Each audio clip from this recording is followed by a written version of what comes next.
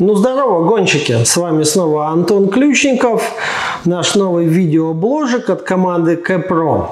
Специально для тех, кто любит, когда в начале видео превьюшки с коротким содержанием ролика, специально для вас короткое содержание этого ролика.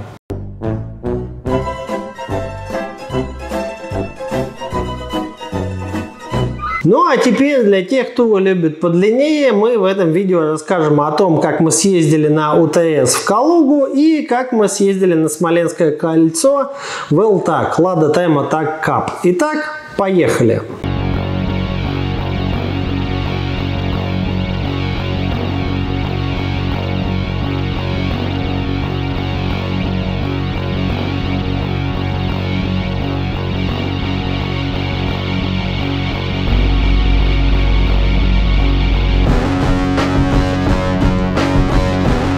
Как все вы знаете, мы строим новый автомобиль по прозвищу Лулу, она же ВАЗ-2108, она же восьмерка. Если не знаете, то о подробностях постройки мы рассказываем в сериях под названием «Дорога в спорт» или коротко «ДВС».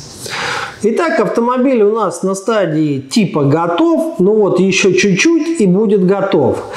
Поскольку в Брянске больше полугода у нас уже негде испытать автомобиль, нам приходится его катать везде, где только, соответственно, можно.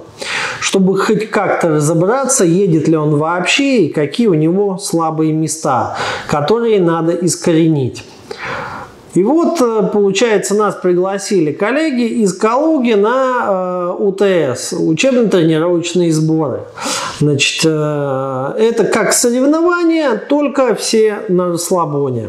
На трассе в Калуге мы были первый раз. Я не буду рассказывать сейчас подробно про трассу, э, так как мы туда едем еще и 8 июля, но уже, соответственно, на соревнования.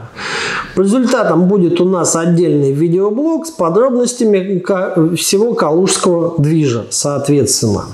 Ну так вот, про УТС в Калуге. А, значит, э, Саня наш э, не доделал свою синюю восьмерку и просто прокатился на гражданской приоре. При этом еще каким-то образом э, он умудрился показать неплохое время Калужской трассы. У Лужи это был своего рода первый боевой выезд на новом моторе. Если кому интересно про мотор, то можете посмотреть видео ДВС часть 2 там мы рассказываем про мотор. В итоге в Калуге у нее три заезда и три техсхода.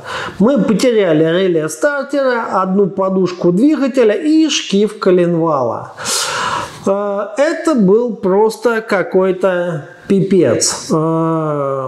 Что это вообще такое? Это сырая, не готовая машина. Почему так получилось? Ну, повторюсь, негде было просто элементарно ее потестить. На этом спасибо, Калуга. Бодримся, делаем вид, что я не расстроился. Далее, мы 24 июня поехали в ЛТАК, Лада Тайм Атак Кап, который, этап которого проходил на Смоленском кольце.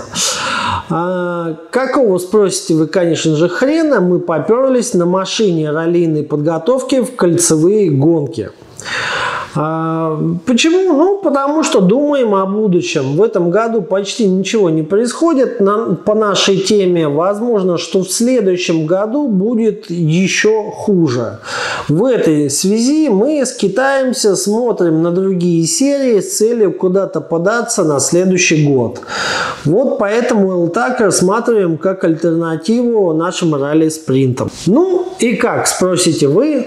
А в принципе никак. Тачка не проехала даже одного круга. Опять сорвало шкив.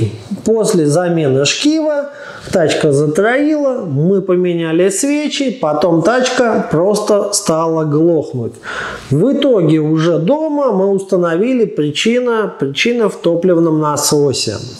Э, Причем он не отказывался работать, он работал на холодную, а при нагреве отключался. То есть тачка остывает, он работает, все нормально, нагревается, отключается.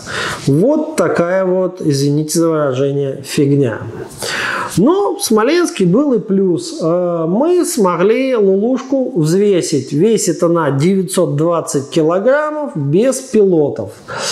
Это специально для тебя, мой любитель цифр. В былые годы я бы с машиной после таких двух эпик фейлов сотворил бы, наверное, что-то такое.